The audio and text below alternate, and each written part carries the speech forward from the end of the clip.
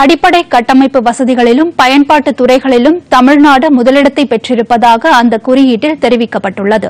நீதித்துறை மற்றும் பொதுமக்கள் பாதுகாப்பில் தமிழ்நாட்டிற்கு முதலிடம் கிடைத்துள்ளது. சுற்றுச்சூழல் பாதுகாப்பிலும் பொது சுகாதாரத்துறையில் தமிழ்நாடு இரண்டாவது இடத்தில் உள்ளது. இந்த குறியீட்டில் மகாராஷ்டிரா இரண்டாவது இடத்திலும் கர்நாடகா மூன்றாவது இடத்திலும் இருப்பதாக மக்கள் குறைதீர்ப்பு மற்றும் ஊழியர் நல அமைச்சகம் தெரிவித்துள்ளது. வடகிழக்கு மாநிலங்கள் மற்றும் மலைப்பகுதி மாநிலங்களில் இமாச்சல பிரதேசம் முதலிடத்தை பெற்றுள்ளது. யூனியன் பிரதேசங்களில் புதுச்சேரிக்கு முதலிடம் கிடைத்துள்ளது.